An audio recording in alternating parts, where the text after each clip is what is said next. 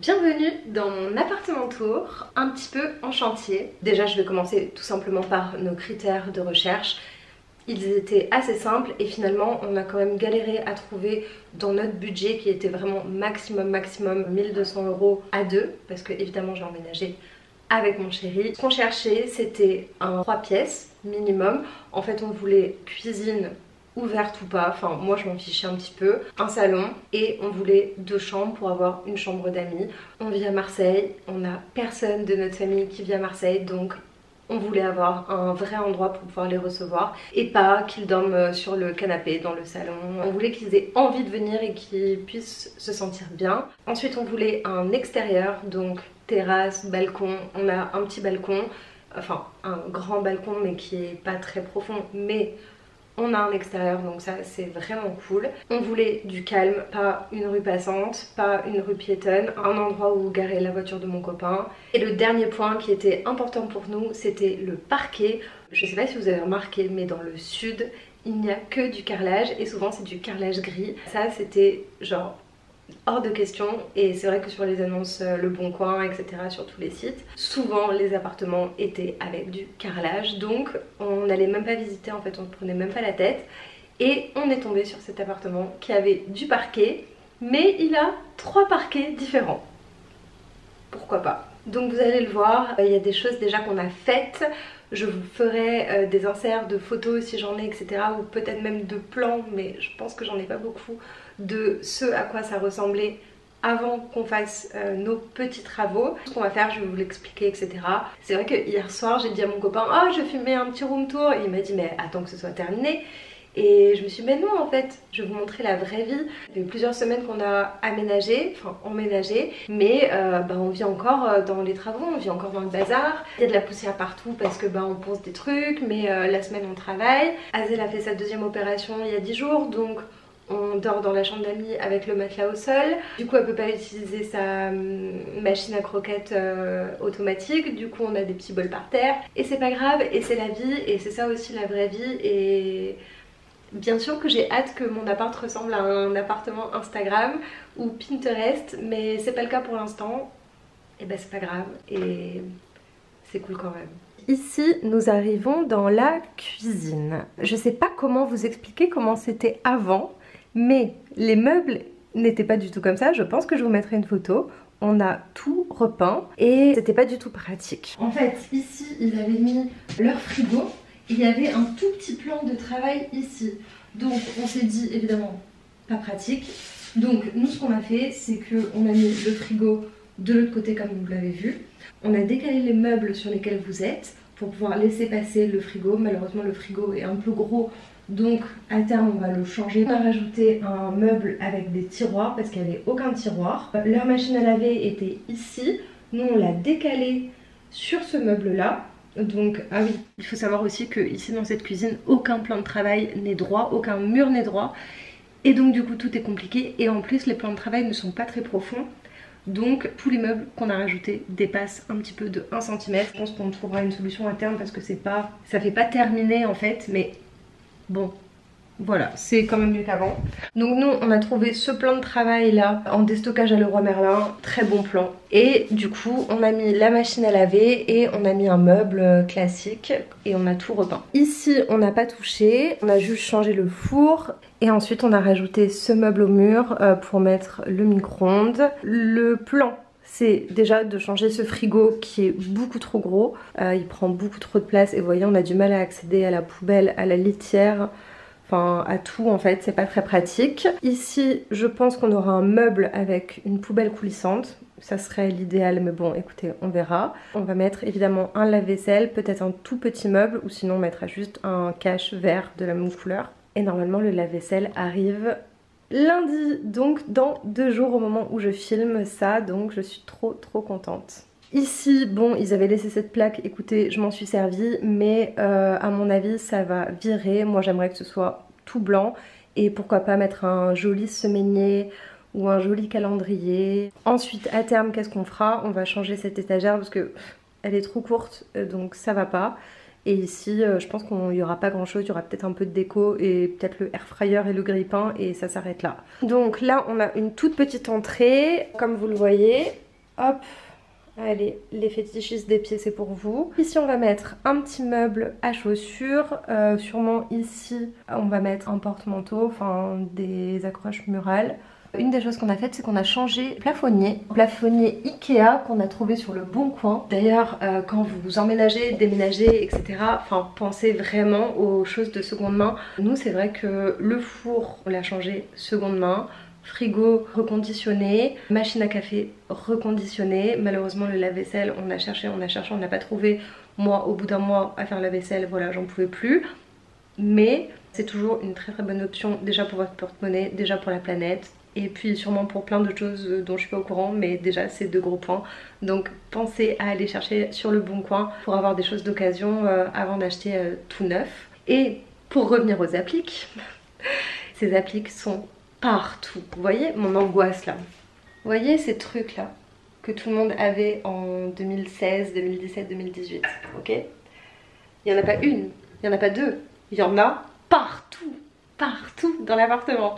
Donc on va devoir tout changer et on va tout mettre euh, à la cave et on remettra tout quand on partira. Mais c'est pas possible. Donc de l'autre côté vous voyez il y a la porte d'entrée et ici on a le miroir miroir qu'on va accrocher. Alors on a beaucoup de chance parce que on a un double séjour. Bon évidemment moi j'avais dit quand on emménage aucun câble ne traîne. Bon bah c'est raté mais on y travaille. Qu'est-ce qu'on a fait? On a mis euh, le pouf, je sais pas si vous vous rappelez, c'est mon canapé hein, d'avant. On l'a collé canapé, comme ça ça nous fait une très grande méridienne pour voir la télé. On va évidemment changer la table basse parce que malheureusement elle est beaucoup trop grande. Enfin déjà elle était trop grande pour le canapé avant mais là voilà c'est le moment. D'ailleurs il faut que je la reponce, il faut que je lui donne une petite nouvelle vie quoi. Ici ça sera le coin guitare donc vu qu'on aura un peu plus cet espace je pense qu'on mettra un petit fauteuil. Et ici j'aimerais bien mettre... Euh, deux ou trois étagères euh, au-dessus du radiateur. Évidemment, changer cette lampe, je peux plus me la voir. Et euh, bah, mettre ma guitare sèche aussi euh, bah, sur un, sur un porte-guitare. Je sais pas comment on dit. Et ici, on va accrocher un tableau. Évidemment, la suspension, ça va changer. Le double séjour. Donc ça, c'était un mur qui était de cette couleur-là au départ. Et les propriétaires, en fait, voulaient repeindre après avoir rebouché les trous. On leur a dit qu'on s'en occupait parce que, ben, on n'aimait pas cette couleur dans tous les cas. Qu'en fait, euh, moi j'ai envie que tout soit blanc à part ce mur. Et ce mur, c'est le premier que j'ai peint dans l'appartement. Mon chéri avait fait la couche de primaire et euh, après j'ai fait les deux couches et la couleur est vraiment sublime. J'ai l'impression qu'elle rend un peu plus grise et foncée à la caméra. Mais en fait, le matin avec le soleil, on dirait une sorte de corail. Et euh, le soir, quand on allume les lumières, c'est vraiment un marron rosé, terre cuite, je sais pas comment dire, mais la couleur est vraiment magnifique. Qu'est-ce qu'on va faire ici? Ici, on va mettre un meuble, meuble suspendu tout du long, tout simplement parce que bah, il nous faut des rangements, on n'a pas de rangement pour euh, nos papiers, etc.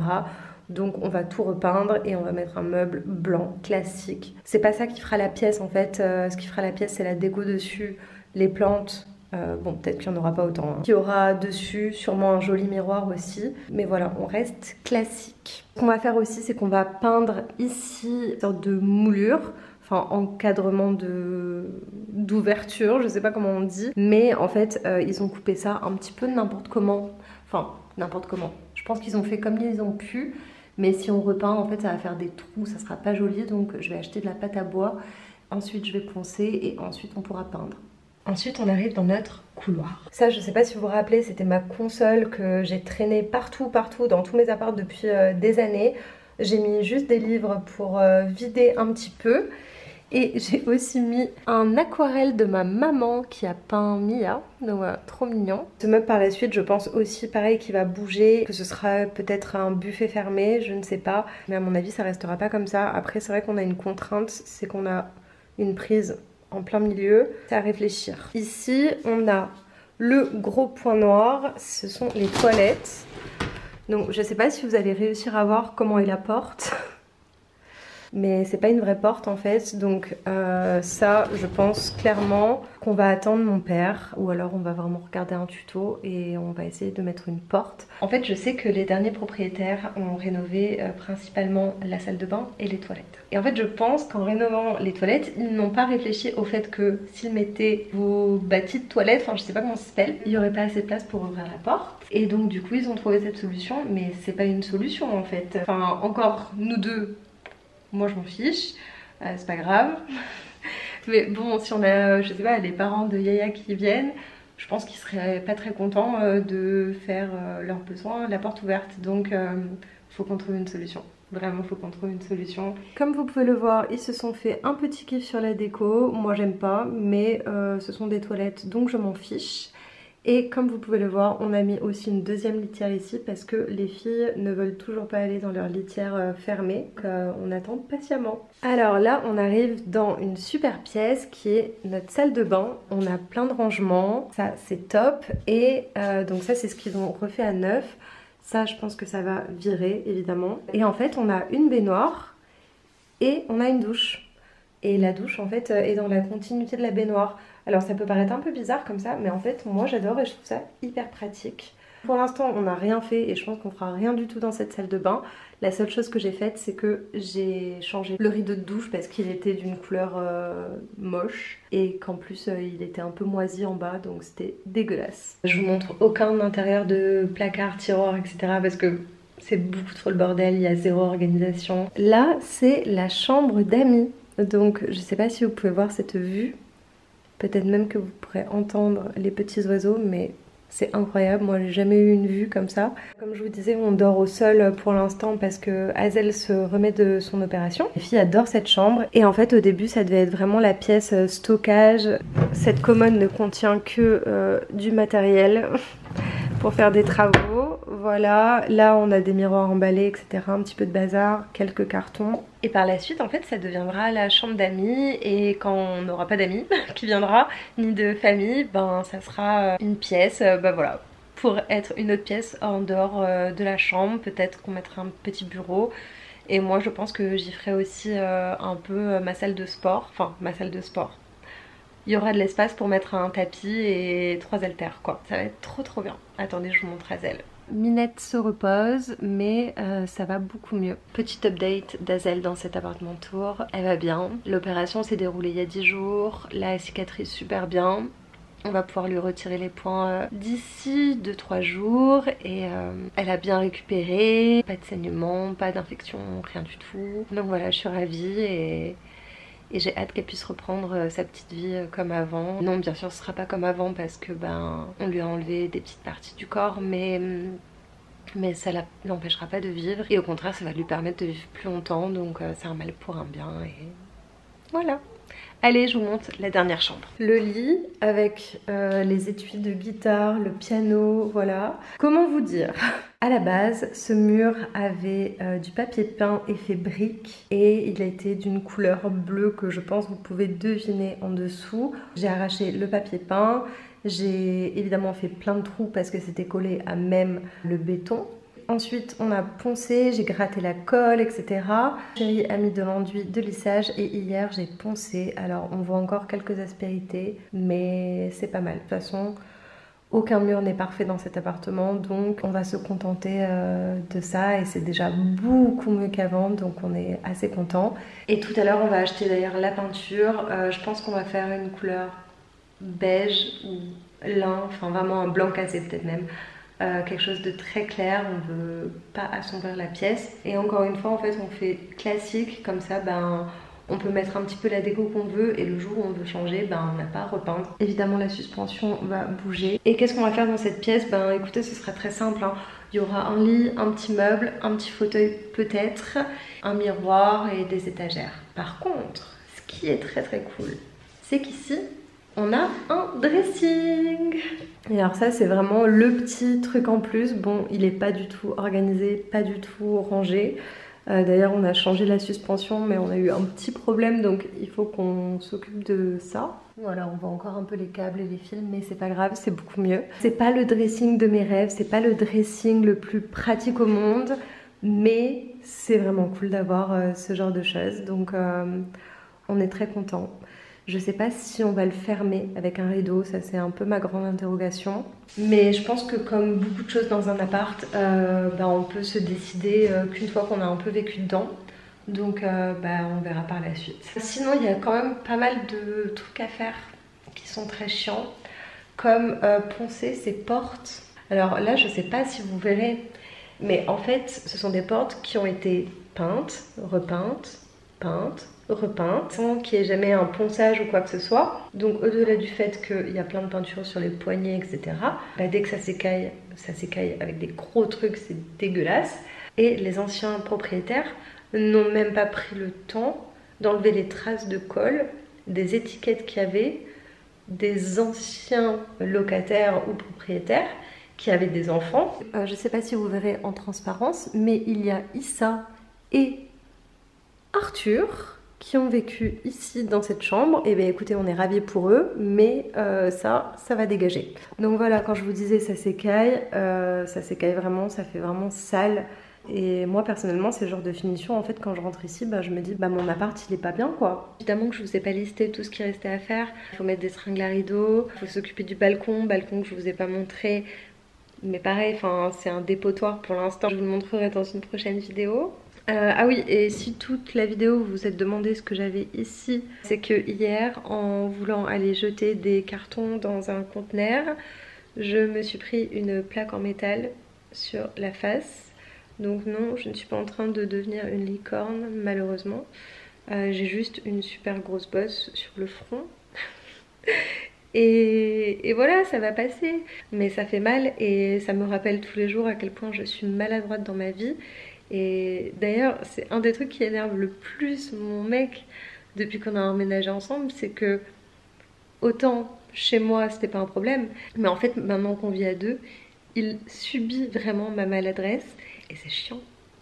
Et que voulez-vous? Enfin, un moment, euh, je suis comme ça. Bon, ben voilà, écoutez, c'était mon petit appartement de tour. Je pense que je vous filmerai un petit peu euh, nos avancées, euh, les choses qu'on va recevoir, les meubles qu'on va installer. Mon chéri là va bientôt arriver et je pense qu'on va se faire un petit point travaux, tout ce qui nous reste à faire. Et sachant qu'on a quand même peu de temps pour tout faire, donc euh, je pense que ça va prendre quelques semaines, voire même quelques mois en fait. Parce que ben, il suffit qu'un samedi on ait quelque chose à faire ou un dimanche ou tout simplement bah, il travaille le samedi des fois. Bah, en fait on n'avance pas. Moi j'ai pas envie de faire ça la semaine tout simplement parce que quand je rentre la semaine bah, je suis fatiguée, j'ai envie de me poser, j'ai pas envie de faire des travaux. Mais écoutez on n'est pas pressé. Euh, normalement si tout se passe bien on est là pendant mes 4 ans d'internat. Donc on va rester euh, minimum 4 ans. Voilà. Euh, écoutez, je vous laisse. J'espère que ce petit appartement de tour vous aura plu, même si ben, il n'est pas parfait. J'espère aussi que vous allez tous bien. Je vous embrasse. Prenez soin de vous. Et on se dit à bientôt dans une prochaine vidéo. Bisous